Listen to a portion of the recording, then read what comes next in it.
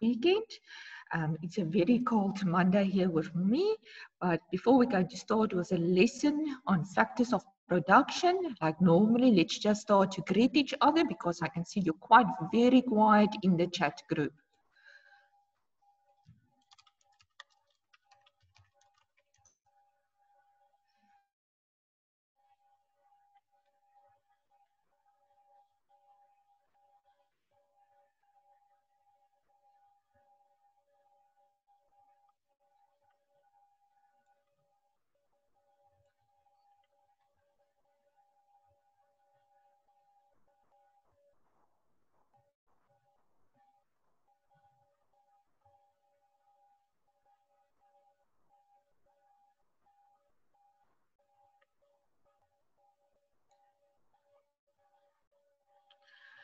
Right, people, as I said, today's lesson is about factors of production. Um, we will work through the lesson and then at the end of the lesson, I'm going to remind you again about the assessment. Okay, so then we will talk about that again. Um, I just want to say before we go to start, um, the lesson of today is not so long because of two things. I first want to actually give you some time that you can start to prepare yourself for tomorrow for the assessment. And then the other thing is they've just told us about half an hour ago that we might have some power failure from half past. Okay, so let's see how far are we getting. All right, like you see in the table of contents, it's about the factors of production we're going to do. And then you will see there I'm going to indicate to you, first of all, what do I mean with the factors of production. It says there that the factors of production are the inputs needed for the creation of goods or services. The factors of production include land, labor, entrepreneurship, and capital. All right, and then you will see a picture there. So I can tell you now already, the first question will be, mention the four factors of production, and then you must tell me land, labor, capital, and then entrepreneurship, or you will see there in the um, picture it is saying enterprise, but please use entrepreneurship. And then with land, they sometimes also talk about natural resources. Okay, so important to know here, what do they mean by factors of production? It's the inputs needed for the creation of goods or services. I mean, you cannot do or make a car if you don't have the equipment to make the car. Um, the car is not going to get to a finished product if you don't have the people or the machines that is working for you in the production process. You cannot make it if you're not going to have some money or somebody must at least come up with a good idea for entrepreneurship to manufacture something. So all four of these factors are important. All four of them are necessary in the production process.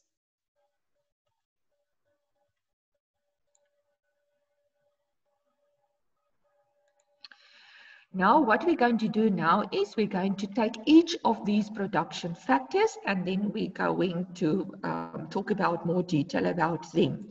So if we looked, the first one that you're going to see there is land, land as a factor. So land has a broad definition as a factor of production and can take on various forms from agriculture, land to commercial real estate to the resources available from a particular piece of land. Natural resources such as oil and gold can be extracted and refined for human consumption from the land. Cultivation of crops on land by farmers increases its value and utility. Okay, so already land or other word here for, for the production factor land is natural resources and you cannot produce anything if that is not going to be involved in your production process. The second paragraph there it's saying while the land is an essential component of most ventures, its importance can diminish or increase based on industry. For example, a technology company can easily begin operations with zero investment in land. On the other hand, the land is the most significant investment for a real estate venture. So it's going to depend on what you're going to produce at the end of the day to see if land or natural resources is going to be important or not. But still, you can say at the end of the day, all four these production factors are necessary in the production process. Okay, so this is the first one, land or natural resources. Then we get into labor as a factor, right? Labor is basically the people that is working or to make the product. Labor refers to the effort expended by an individual to bring a product or service to the market. Again, mm-hmm. it can take on various forms. For example, the construction worker at a hotel site is part of labor, as is the waiter who serves guests or the receptionist who enrolls them into the hotel. Right, so if you think, if you're going to build a hotel, right, then the person, the construction worker, all right, at the hotel site, is part of the labor. When the hotel is going to be finished, the lady, the receptionist sitting at the front office there, she is going to be part of the labor. Um, then where the restaurant part is going to be, the waiter there that serves the guests, that person is going to be part of the labor. Within the software industry, labor refers to the work done by project managers and developers in building the final product. Even an artist involved in making art, whether it is a painting or a symphony, is considered labor. So again, labor is the second production factor. Basically, what is that? That is the person or the individual that is necessary to bring the product or the service to a, a finished product at the end of the day. Then the third production factor is capital. Capital as a factor. In economics, capi capital typically refers to money. Okay, capital is money. But money is not a factor of production because it is not directly involved in producing a good or a service. Instead, it facilitates the processes used in production by enable entrepreneurs and company owners to purchase capital goods or land or pay wages. So at the end of the day, it doesn't matter, it's still money that's going to be involved. As a factor of production, capital refers to the purchase of goods made with money in production process. For example, a tractor purchase for farming is capital, Along the same lines, desks and chairs used in office are also capital. And when we have done the financial concepts, capital was one of them. And then you will remember our definition for capital was also, I've told you, yes, of course, capital is money, but it's not only money, it can be goods that is having a value um, that you can, uh, for instance, um, going to sell over a certain time period again, and then you can get some money for it, for instance. So your capital is money, but it's not only money, it's basically also like assets that is having a value. Right, so that was the third production factor, capital. The fourth one is entrepreneurship as a factor. Entrepreneurship is the secret sauce that combines all the other factors of production into a product or service for the consumer market. An example of entrepreneurship is the evolution of social media, the home of Facebook Incorporate. Mark Zuckerberg assumed the risk for the success or failure of his social media network when he began allocating time from his daily schedule towards that activity.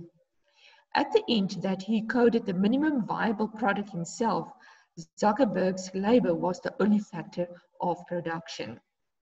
So again, it's going to depend on what type of um, product or item or good or service that you're going to work with.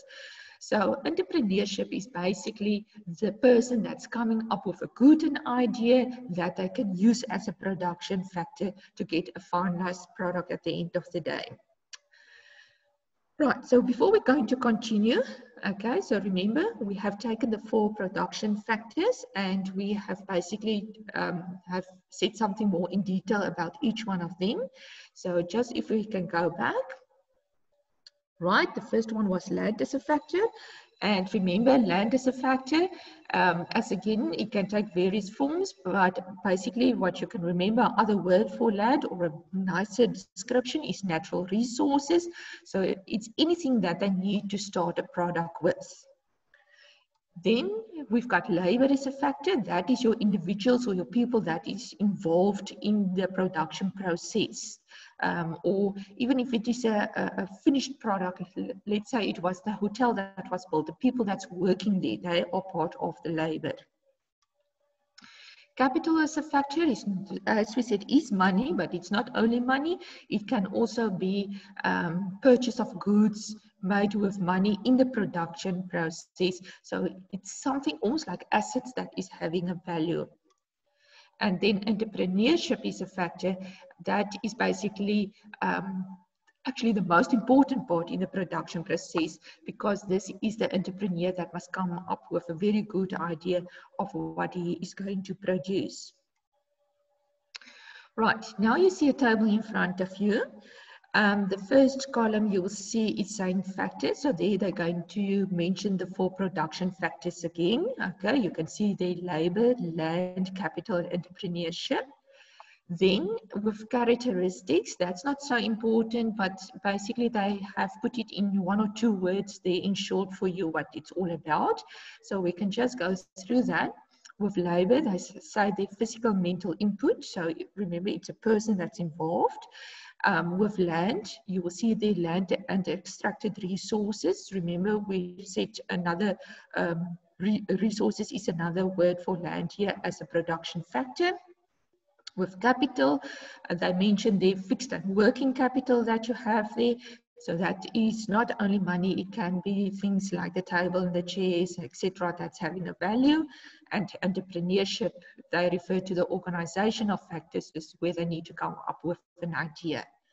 And then in the third column, they have given you some examples then.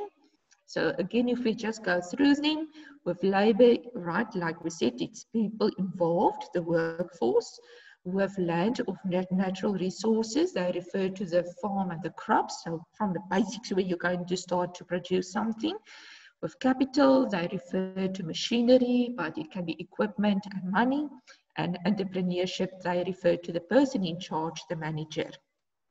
But what is very important on this slideshow for me is that last column. It is saying rewards or we talk about the remuneration of the four production factors. And you need to know this. So what is the reward or the remuneration of labor? And that will be wages or even salaries. So that is if the person is working, what does he get back basically?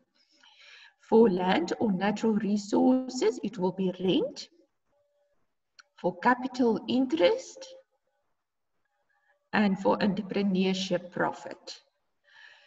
So right, so far the question will be, mention the four production factors and let's say give an example of each one and also give the remuneration of each of these factors. So then you need to say, mention the four factors, and especially with the remuneration, you need to say with labor, it's wages and salaries, with land or natural resources, it's rent, with capital, it's interest, or with entrepreneurship, it's going to be profit. Right, before I get to that slideshow um, that you have noticed there, basically that is the work for today, okay? Of the uh, factors of production. So you can see it was in short and sweet. Okay, so just to, because you're going to get questions from this slideshow in the assessments that's going to take place tomorrow, or takes place tomorrow and on Wednesday. So let's just recap on it, right? Important is the factors of production?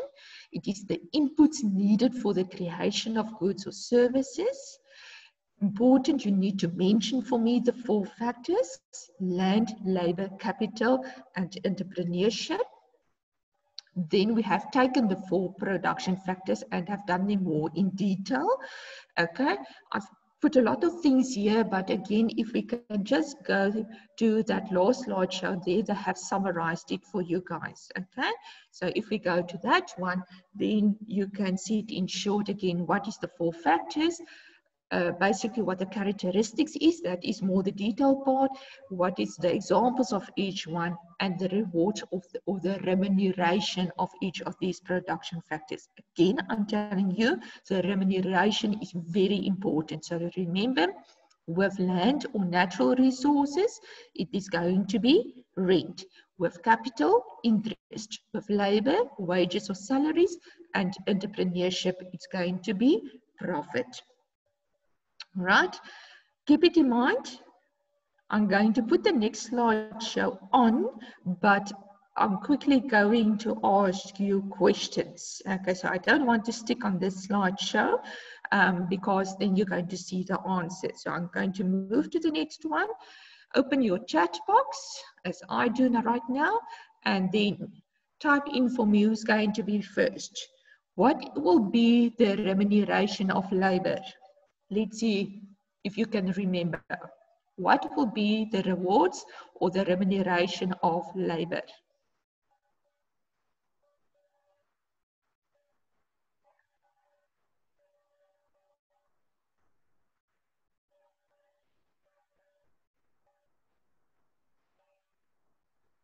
All right, is somebody going to answer?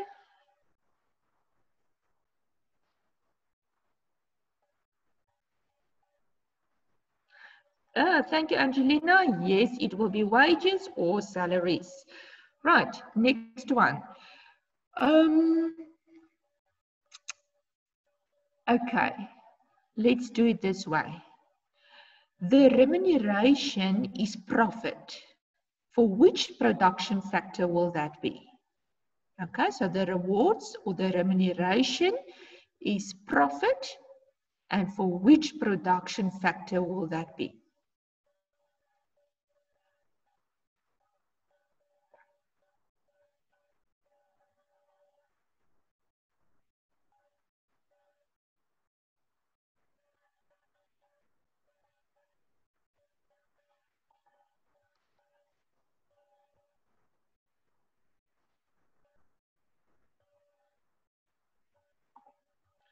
Right, let me go back so you can see there.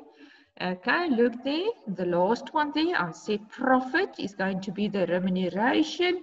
For which production factor will it be? That's going to be entrepreneurship. Right, okay, I can see you struggle with this. So let's just recap again this slideshow. Okay, I'm telling you, you're going to get a question like this. All right, so first of all, I ask the question and then I will answer it mention the four production factors. Right? Answer is labor, land, or you can say um, natural resources, capital, and entrepreneurship. Then, next question. Mention one example of each of those production factors. Right? If we take labor, you can say workforce, or you can say the people that's involved in the production process. With land, you can say the basics that they need to start to produce something, okay, farm and crops, for instance. With capital, you can say machinery, money, equipment. With entrepreneurship, you can say manager or owner there. Right, next question. Mention the remuneration of the four production factors. Okay, then your answer is going to be labor, wages or salaries, land, rent, capital, interest, and entrepreneurship, profit. All right, so you need to go and study this. All right, and then um, you have noticed now the next slideshow. People, okay. This is an example of one of the posters that I've received. And thank you very much for this. And Angelina, I hope you don't mind that I put yours on. Because that is almost the only one that I still have received up till now. People, it can't work like that. This is counting marks, okay? Tomorrow you're going to do an assessment. Are you still not going to send me your things? Because how do you want to get marks at the end of the day? So please, we can't sit here wasting each other's time. So remember, okay, I'm really telling you, okay, final, final message. Posters, I need it. You need to email it to me. My email address was on the first slideshow, but let me quickly put it in the box as well so you can see it if you don't have my email address. I will also uh, give you, to you my cell number now. You're also more than welcome to WhatsApp for it for me. So there you have my email address and my cell number.